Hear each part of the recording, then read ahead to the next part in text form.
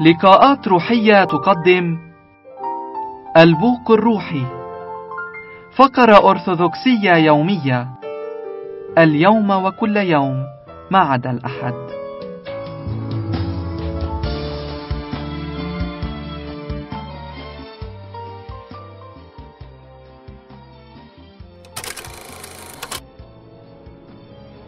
جاء في كتاب سفر الكلمة عظة للمتروبوليت بولس يازجي ألقاها في قداس الخميس العظيم بعنوان الشركة الإلهية الإنسانية.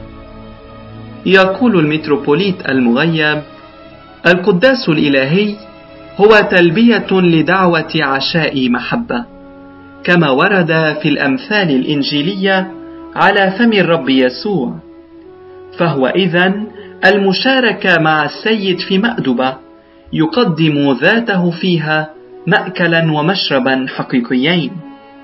وهذه المأدبة هي جلسة تجديد المحبة. العلاقة مع الله هي تماما كالعلاقة مع الصديق المحب والحنون. كل يوم آخر نعاشره فيه نراه أكثر حبا وأعظم حنانا. في كل مأدبة نحن مدعوون لكشوفات جديدة وليصير الله أوضح لنا وأقرب إلينا عما سبق أليس هذا ما يحصل معنا في حياتنا اليومية مع أي صديق كان؟ إلا مع الله لأننا غالبا ما نجعل القداس يسقط في بوتقة الروتين والعادة السطحية التي تقتل العبادة فالعلاقة مع الله لا تكون صادقة إذا جمدت وهي لا تحتمل استاتيك التنظير ولكنها تحتوي حيوية التجديد. المحبة في طبيعتها تجدد في كل لقاء ما هو قديم وتضيف عليه ما هو أكثر. لعل أبشع ما يجري أننا أحيانا في القداس نتناول الجسد والدم ونخرج من دون خبرة جديدة مع الذابح والذبيحة. نتناول الجسد من دون حوار مع المقدم والمقدم مع الكاهن والضحية مع الصديق والداعي. فترة القداس الإلهي هي زمن تقبل النعمة الإلهية وهي أيضا زمن الحفاظ عليها.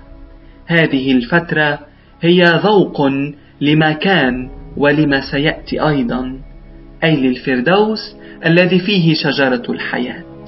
زمن القداس الإلهي هو أفضل زمن للتجلي الإلهي. نصير فيه مشاركي الطبيعة الإلهية. لا يفرض الله ذاته علينا. إنه ينظر إلينا دائما وينتظر لحظة نظرتنا إليه. فلنصلي تلك العبارة الرائعة لتشرق النعمة وليغرب العالم ونحن في طريقنا إلى القداس الإلهي ونحن عازمون إلى لقاء الحب الذي شبهه الرب بالعرس بينه وبين كل منا. الحب خبرة من لم يذقها لا يعرفها. المحبة الإلهية نار تمسنا فتنيرنا. الحب خبرة وليس خبرا العبادة ليست حفظ الوصايا وإنما الحفاظ على الوصية أي ممارستها والحفاظ على حالتها والوصية الوحيدة هي المحبة. وليس حب أعظم من أن يبذل الله ذاته عن أحبائه.